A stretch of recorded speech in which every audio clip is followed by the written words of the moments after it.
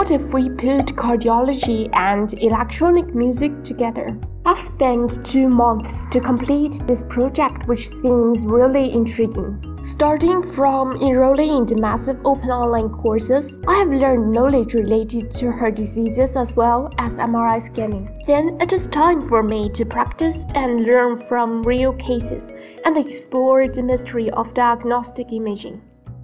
Also, I have spent my free time surfing on the internet to find the auscultatory sound of diseases I'm interested in, and then create a unique timbre using Fruity Loop Studio. All the experiences are quite enjoyable for me, and I have learned a lot of things I didn't know before.